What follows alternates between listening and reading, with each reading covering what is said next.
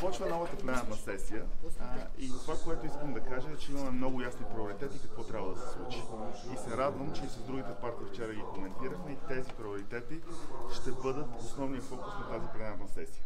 Имаме три основни закона, които са антикорупционни. Разбира се, закона за антикорупцията КПКОМПИ, който отдавна го говорим, но всъщност неговата задача не е само за плана за възстановяване и устойчивост, не е само заради Шенген, а реално да направим институция, която се бори с корупцията. Второ, закона за съдебната власт. Това, този въпрос дали може или как да се разследва заместник главния прокурор да бъде отменено и да могат да бъдат да може да бъде разследван абсолютно ясно и точно и никой да не може да избягне от този тип разследвания. Едновременно с това трябва да направим и а, закона срещу прането на пари.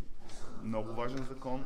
Пак за Шенген и еврозоната е много важен, но най-вече, че България да намалиме риска от прането на пари. Знаете, че годините много са били обвинявани. Това са основни приоритети за антикорупция. Имаме и закони, които са специално за хората. Закона за личния фалит.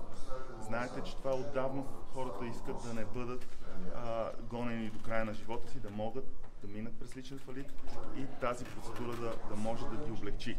Закона за етажната собственост, да направим по-лесно европейските средства да бъдат давани на хората с, сгради, така че примерно санирането да стане по-лесно и освояването на средствата да бъде по-лесно.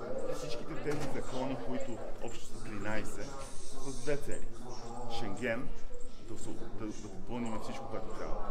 А, плана за възстановяване и устойчивост той не е важен само защото е план, не само защото трябва да влизат пари в, в България, а защото това е основна мярка бюджета да бъде изпълнен.